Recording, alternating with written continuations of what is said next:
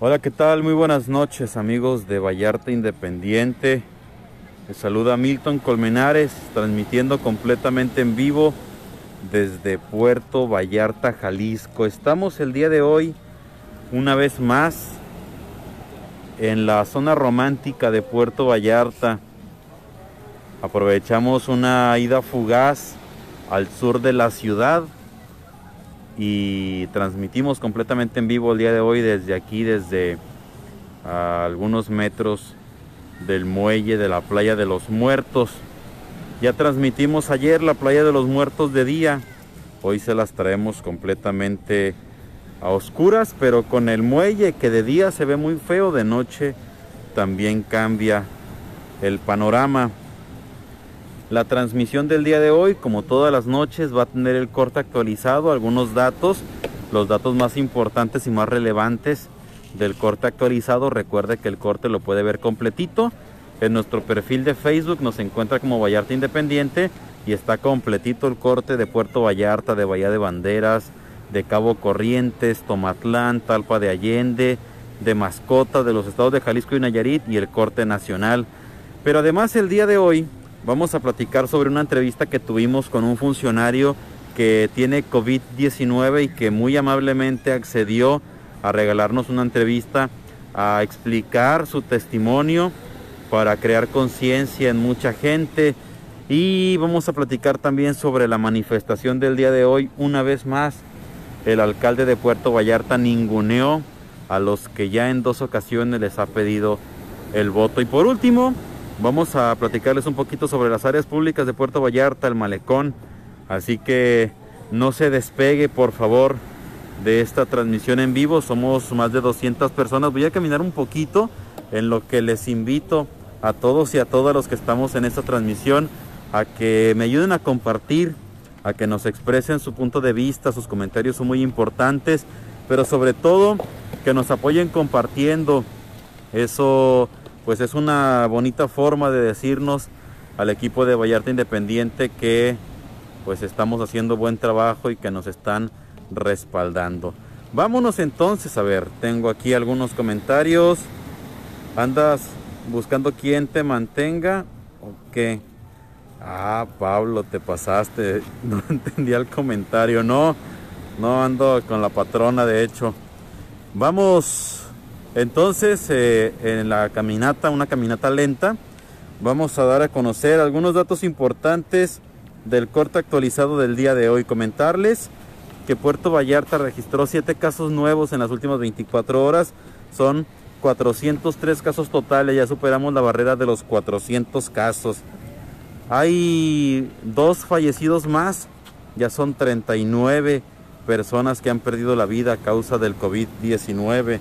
Voy a bajarle un poquito el brillo a este teléfono que traigo como, como guía. En Bahía de Banderas hay 10 casos nuevos en las últimas 24 horas. Ojo, Bahía de Banderas y en general todo Nayarit están creciendo de manera muy acelerada los casos. Hay que cuidarse un poquito más. Bahía de Banderas les decía, son 10 casos nuevos en las últimas 24 horas para un total de 133. Y hay 15 decesos en Tomatlán, en Talpa y en Mascota, así como Cabo Corrientes, no hay casos nuevos.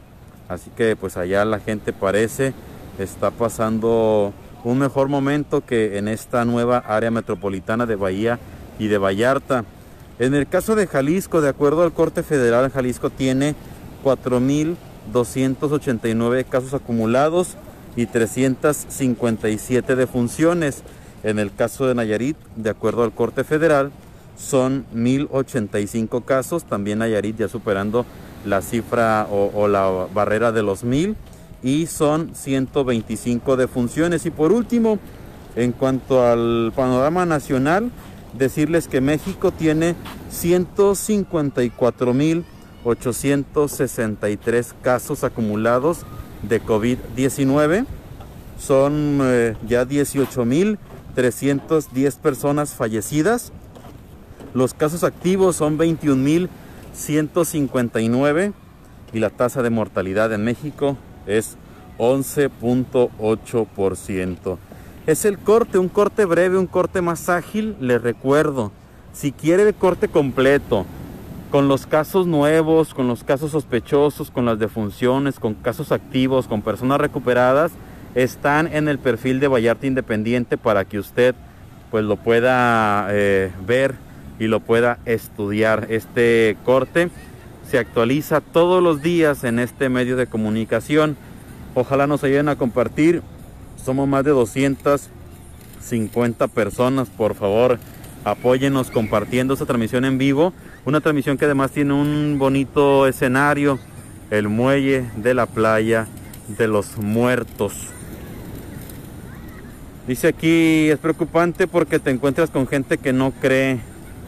Por ahí me la llevaba, extraño la playita por la noche, ahí trabajaba en el restaurante del Hotel Los Arcos, dice Juan Ibáñez. Dice por aquí, ya se puede ir a la playa, ya se puede ir. Acuérdense que las playas ya están abiertas. ¿Es necesario usar cubrebocas en los hoteles? Sí, en todos lados. Por aquí es otra persona. Siempre haces excelentes transmisiones, eres un gran reportero. Muchas gracias a Juanita Lozano.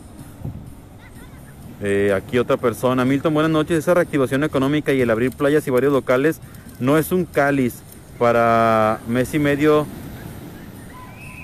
Para medio mes de agosto se vuelve a activar el cierre de nuevo. No. Eh, difícilmente nos van a encerrar de nuevo. Por eso es que tenemos que estar eh, muy atentos y tenemos que entrar a la fase que ya dijo el gobernador la fase de responsabilidad individual, que básicamente es yo como gobierno ya, ya hice lo que tenía que hacer, te toca a ti como ciudadano hacer el resto. Sé que otra persona, amigo, no entiendo, acabo de decir el presidente Jaime Cuevas que somos el estado con menor casos y tú dices que va para arriba, ¿quién los entiende? Pues, eh, amigo Rolón Amaral, yo lo único que estoy diciendo es que Bahía de Banderas difícilmente ha tenido días con doble dígito de casos nuevos. Siempre tiene 2, 3, 5, 7. Son pocos los días y te puedo decir que son menos de 4 o 5 días en donde se han registrado más de 10 casos nuevos en 24 horas. Hoy es uno de esos. Por eso te digo, Bahía de Banderas y todo el estado de Nayarit en general tienen una aceleración en los últimos días en cuanto a casos nuevos. Y si no me quieres creer a mí, ve al corte actualizado y verás que la tasa de incidencia por cada 100.000 habitantes en Nayarit es muy superior a la de la mayoría de los estados de la República. Dice aquí otra persona, un conocido murió hace dos meses, fue el número 5, a dos meses ya son 39, lamentablemente así vamos a continuar si las autoridades no ponen más de su parte y si los ciudadanos tampoco nos cuidamos mucho. Me voy a acercar un poquito más al muelle Creo que por ahí están unas letras que dicen love. Sirve que también las enfocamos. Y vamos a platicar sobre el tema de Víctor Bernal. Víctor Bernal, usted lo seguramente lo conoce, es un funcionario municipal. Víctor Bernal, lamentablemente, por sus funciones, por sus labores, se infectó de COVID-19. Nos comentaba que el día de hoy Víctor Bernal cumplía 16 días desde que le notificaron que tenía este nuevo coronavirus. Afortunadamente, él ya se encuentra mejor, ya pudo el día de hoy regalarnos una entrevista, ya pudo el día de hoy platicar un poquito con los medios, pero sobre todo con ustedes, que son las personas a las que nosotros les servimos, en este caso con la información. Por eso queremos reiterar el agradecimiento a Víctor Bernal por habernos contemplado por haber utilizado los medios de Vallarta Independiente para expresarse, para lanzar un mensaje a la gente, sobre todo a la gente que decidió no creer o a la gente que ya decidió bajar la guardia y dejar de cuidarse. La reactivación económica o, estos primeros pasos de reactivación económica no significan que la pandemia haya terminado, tampoco significan que el virus ya haya dejado de existir. Lo que significa es que el virus va a seguir entre nosotros pero de alguna manera tenemos que reactivarnos económicamente porque la gente ya no puede estar más sin trabajar sobre todo.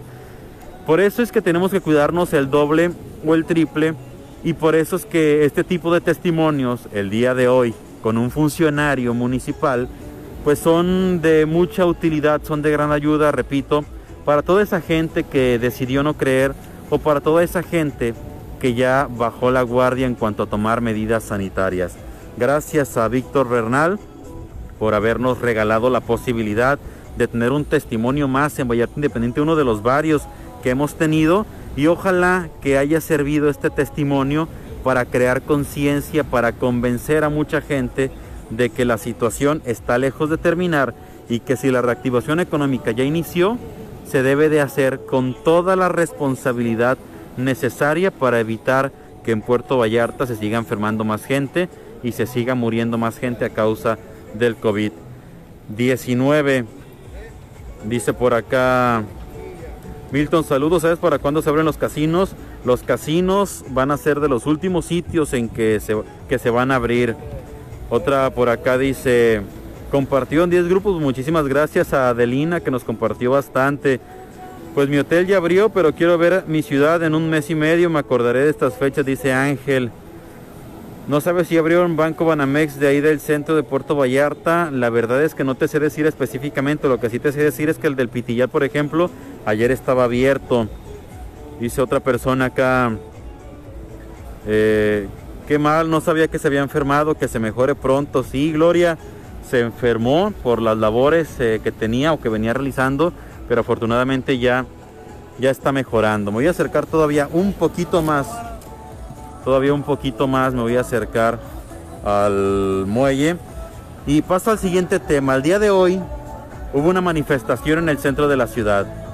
Se manifestaron los dueños de salones de eventos, se manifestaron los dueños de empresas de banquetes que funcionan con los salones de eventos, se manifestaron payasitos que dan shows en esos salones de eventos, se manifestaron personas que rentan mueble para los salones de eventos que no solamente pues es el dueño del salón el afectado, son todos los actores económicos que, eh, que están alrededor de esta actividad. Ahí tenemos la palabra love. Eh, desafortunadamente, para estas personas que se manifestaron el día de hoy afuera de la presidencia, pues esta fue otra de esas manifestaciones ninguneadas por el alcalde. ¿Por qué lo decimos así? Porque las personas se manifiestan para tratar de hablar con él. Él el alcalde Arturo Dávalos es la máxima representación en Puerto Vallarta. Él está en la silla más alta de todo el municipio. Él, al menos por empatía, tenía que recibir a los manifestantes, pero nuevamente decidió ignorarlos, nuevamente decidió mandar al secretario general. Es cierto, el abogado Francisco Vallejo Corona es una persona muy capacitada, pero la gente que se manifiesta quiere platicar con el alcalde porque para la gente el alcalde representa la autoridad máxima de la ciudad. Y es lamentable que Arturo Dávalos decida ignorar a estas personas y mandar a alguien en su representación. Nada le cuesta al alcalde salir, recibir a la gente y decirle, ¿saben qué? Yo no puedo en estos momentos, tengo una agenda importante, pero los va a atender el secretario general. Pero definitivamente pues esa empatía no es lo que caracteriza a nuestro presidente municipal y así como ignoró en su momento a los músicos, a los comerciantes del Pitillal, a los comerciantes o a los vendedores de playa y a toda la gente que se ha manifestado en los últimos eh, cuatro años y medio, pues Arturo Dávalos decidió ignorar a los eh, manifestantes del día de hoy. Y nos surgía una pregunta en la redacción de Vallarta Independiente. El alcalde cada que se le manifiestan manda al secretario general ¿Habrá mandado también al secretario general a la hora de pedir el voto? El alcalde cuando fue a todas las colonias de Puerto Vallarta, ¿mandó un representante o, fue él como candidato? Y eso es lo que le molesta a la gente. Cuando andan buscando el voto, cuando andan buscando el beneficio, van hasta la puerta de tu casa, te saludan y te tratan bien. Pero cuando llegan al poder, te ignoran, te ningunean y no te dan la cara, no te dan soluciones, no te dan ni siquiera una esperanza de que te están escuchando y de que quieren solucionar los problemas que tienes. En esta pandemia lo único que se ha corroborado es que el alcalde de Puerto Vallarta está preocupado por mantenerse en el poder o mantener a un cercano suyo y la gente que se rasque con sus propias uñas y ni siquiera es bueno para darles la cara. Dice por aquí una persona, Buenas noches, ¿cuándo empezará a haber turismo? Pues la teoría dice que a partir de ayer, de hecho vi unas fotografías de un primer grupo de 21 personas que llegaron de Guadalajara a un hotel de Puerto Vallarta.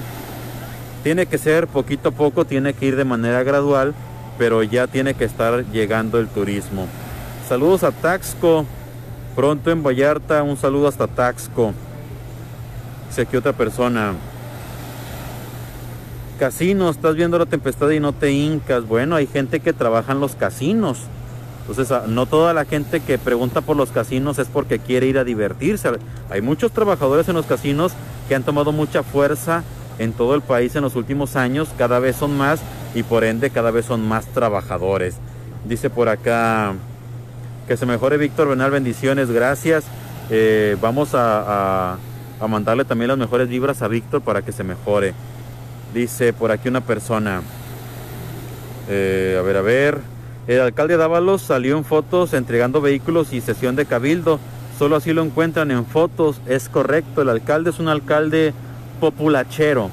Y si usted no sabe perfectamente lo que significa populachero, populachero significa en el argot de la ciudadanía eh, una persona que está únicamente para los eventos bonitos, para la fotografía bonita. No le pidas a un populachero que resuelva problemas o que atienda a la gente que no está conforme. Pero sí, invítalo donde va a haber una fotografía bonita y ahí va a estar puntual con la sonrisota. Ese es el alcalde que tenemos en Puerto Vallarta. Milton, eres el mejor de Vallarta. La gente por más que se lo expliques no te va a entender porque es más peligroso no tener muchos infectados, porque la curva no sube. El alcalde no quiere a la gente de Vallarta. Qué triste es, dice Hipólito Morales. Dice otra persona por acá, el presidente cuando se amarró la tripa también le cortaron los... Y tengo que reservarme la palabra siguiente. Qué bonito se ve el muelle, pero lamentablemente es de noche y no se ven sus tantos defectos, pero es bonito el color, sí. De noche es completamente diferente la vista que de día. Ayer lo reportábamos. En mi colonia hasta bailaba y no ha hecho nada por mi colonia de todo lo que prometió, pero bueno, eso no se nos olvida para las próximas elecciones. Hola Milton, buenas noches. Tú como siempre trabajando. Oye Milton, ¿qué sabes? ¿Seguirán dando las despensas del ayuntamiento? Tenemos entendido que van cinco entregas de seis. Y la sexta entrega debe de estar próxima. Después de esta sexta no sabemos si habrá más. Qué mal que ni los pela lo dice Dina Tamayo. ¿Cómo se echan la bolita? Dejen de estar engañando a la gente y digan las cosas como son. Pues díselo eso a, las autoridades. Dávalos es un presidente municipal de aparador. Como un maniquí, me imagino. Pues sí, es un presidente de fotografía, lamentablemente. Él dijo en el 2015, cuando fue electo alcalde por primera vez, que iba a cambiar la historia de Puerto Vallarta. Lamentablemente creo que no especificó si para bien o para mal, pero de que está cambiando la historia, pues está quedando muchísimo a deber. Voy a finalizar la transmisión con un tema que puede ser agradable para mucha gente. Lo más seguro, y esto lo digo con todas las reservas necesarias, lo más seguro es que lo próximo que reabra en Puerto Vallarta sea el malecón, los malecones, contemplando los dos del centro y el de la marina, y los parques y corredores deportivos. ¿Con qué sustento se lo decimos? Básicamente con el sustento de que con la reactivación económica, con la apertura de muchos negocios, con la reapertura de los hoteles, lo primero que están haciendo las autoridades es ver las condiciones necesarias para reabrir las áreas públicas, para que la poquito o mucha gente que venga a Puerto Vallarta pueda ir a pasearse, pueda ir a disfrutar de nuestras bellezas. Lo más seguro, les repetimos, es que a más tardar la próxima semana se estén dando luz verde para la apertura de los malecones y las áreas comunes, los parques en Puerto Vallarta. Así que, pues buenas noticias en este tema de la reactivación, en este tema de la nueva normalidad. Buenas noticias para Puerto Vallarta. Poquito a poco vamos abriendo, vamos reactivándonos económicamente y también socialmente. Recuerde, el hecho de que reabran las áreas públicas no significa que todo regresa a la normalidad. Hay que tener muchísimo cuidado con las normas sanitarias pero en definitiva, pues esta es una muy buena noticia para todos y para todas los que piensan venir a Puerto Vallarta y también aquellas personas que de manera responsable ya quieren de alguna manera caminar por el malecón. Me despido con un par de comentarios. Que se recupere pronto Víctor Bernal. Saludos cordiales. Gracias a Lucy. Manda saludos a mi esposa Blanca Medina. Pues un abrazo y un saludo para Blanca Medina de parte de Ricardo Martínez. Qué bonita imagen de la playa de los muertos. Regálanos una fotito de ahí. Anda. Ahorita vamos a tomar un par de fotos. Lamentable este actuar de este presidente municipal. Vallarta no merece esas autoridades. Definitivamente no. Vallarta merece autoridades de primer nivel porque somos una ciudad de primer nivel. Muchas gracias Milton por tu información. Cuídate mucho. Gracias a Kay Clean. Me gusta la palabra populachero. Aquí donde vivo se les llama oportunistas, dice Madre Luisita. Dice por acá, ¿por qué echar la culpa al gobierno de todos si la gente no hace caso, les hacen recomendaciones y no obedecen? Eh, creo que estás equivocado de transmisión. En esta transmisión no se le ha echado la culpa al gobierno de todo. Tómale una foto al muelle, ahorita como no le tomamos una foto para subirlas esta misma noche. Y pues con esto nos despedimos. Gracias a todos y a todas los que nos ayudan comentando, los que nos ayudan compartiendo. Desde el corazón de Puerto Vallarta, en la playa de los muertos, nos despedimos. Cuídese mucho y nos vemos y nos escuchamos en una próxima transmisión.